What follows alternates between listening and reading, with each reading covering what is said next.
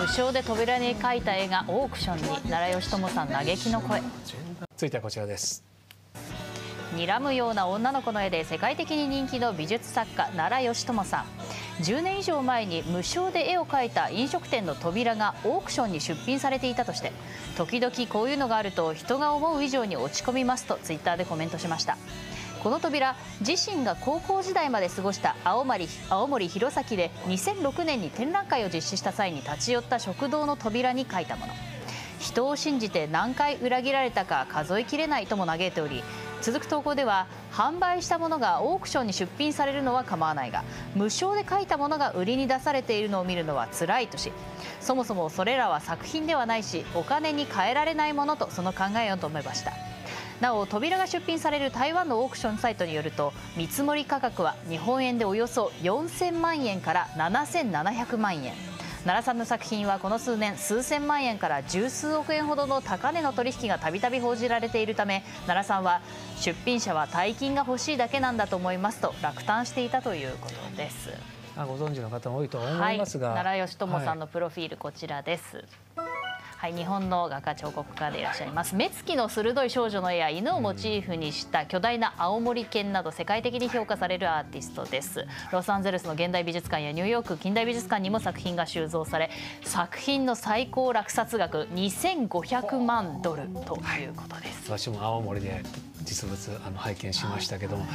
健太さん。はいこれねあの今ね2500万ドルって出てましたけど、これ2019年にサザビーズ香港で落された、落札されてだから当時27億、今のレートだとまあ30億ぐらいですよね。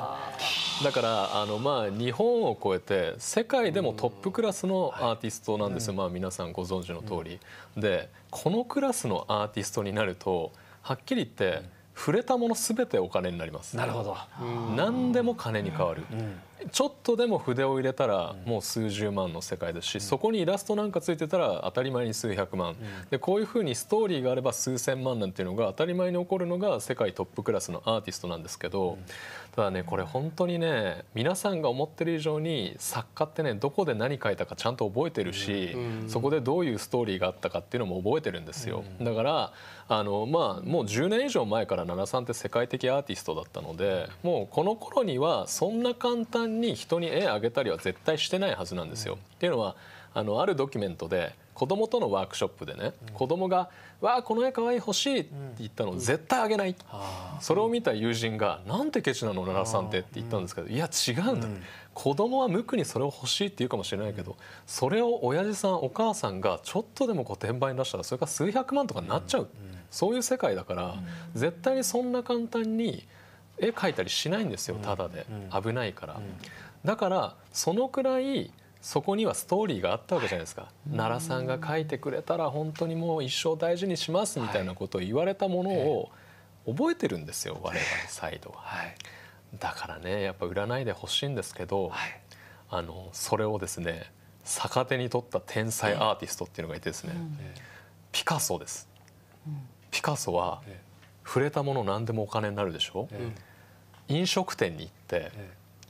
お会計を全部小切手で払ったんですよ。ほなんでかわかります？うそれも？あの深川さん例えばですよ、ええ。深川さんがすごいこだわりのパンケーキ屋やってます。はい。そこに三谷あかりさんがいらっしゃって。よく覚えてますね。覚えてましたね。よく私のお気に入りを一回しか言ってないのに。よく覚えてますね。は深川さん、え今日小切手で払ってもいいですか、ええ。小切手置いてきました、はい。換金しますか？いしないですね。取っとくでしょ、えピカソは全部小切手で払った結果ええ。ね？ええ。ピカソの小切手だ。えこれ持ってったら100ドルになるけどえ持ってた方がいいよね。そうなるとピカソの財布から1円も出てかないんですよ。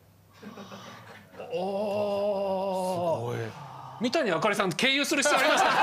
まあまあそういうね余談もありますよ内山さん。それだけ心のこもっったイラストがそのように扱われてしまって胸が痛むっていうのは我々でも想像はできますよね。うん、できるけどでもこれしょうがないっすよ。だって僕らのね、はい。番組のプレゼントとかで、出演者サイン入りでプレゼントしますっていうのがね、えそういうなんかオークションとかそれ出てるんですよ、え何百円単位のやつで、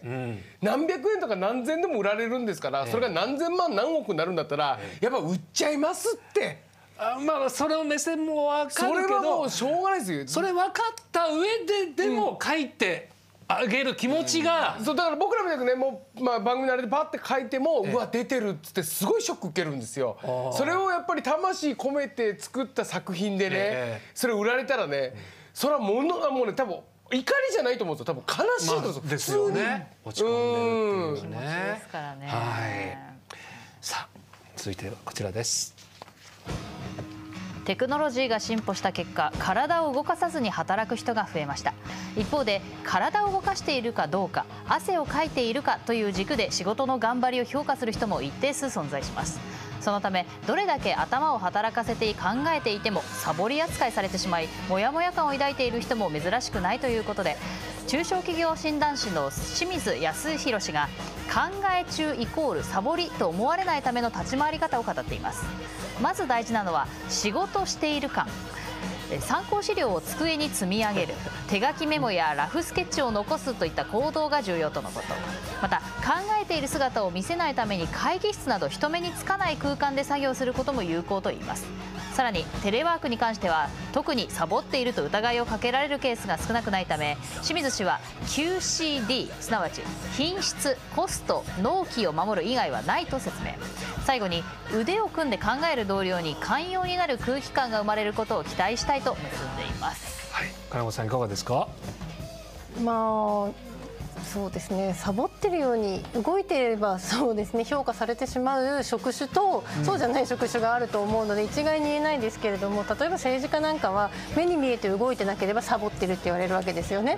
だからできるだけ地域活動みたいなお祭りだ運動会だどこにでも顔を出してる人があ頑張ってるって評価をされてしまう。そういう仕事もあれば考えてないそういうここのえー一人になって考えて姿を見せなくても考えてる時間がなければ結果納期とかね、成果出せない仕事だってあるわけだから、一概に言えないかなとは思いますけどね。政治家の場合はやっぱパフォーマンスっていうのは結構影響大きいですか？でも多分皆さんがそれで評価するしかなかなかないじゃないですか。いや実際ちゃんと仕事して目に見える成果を出してるけれどもそれ自分でいろいろ言ってればですねあ私のこと仕事してくれて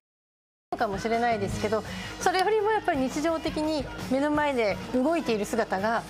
見えた方が熱心な活動をしている議員だから多分議員は休みになると、まあ、地元で